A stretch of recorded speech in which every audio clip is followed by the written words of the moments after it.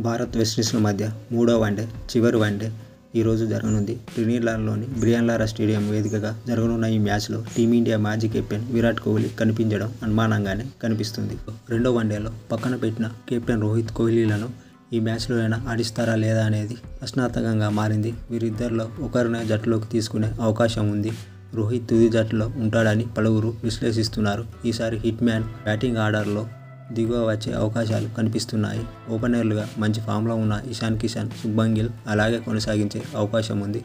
మరోసారి సంజు సామ్సన్ సూర్యకుమార్ యాదవ్కు టీంలో చోటు దక్కవచ్చు. టీ ట్వంటీలో రాణిస్తున్న సూర్యకుమార్ యాదవ్ వన్డేలో మాత్రం విఫలమవుతున్నాడు. గత మ్యాచ్లో సంజు సామ్సన్ కూడా సరిగా ఆడలేదు. వీరిద్దరూ రాణించాల్సిన అవసరం ఎంతైనా ఉంది.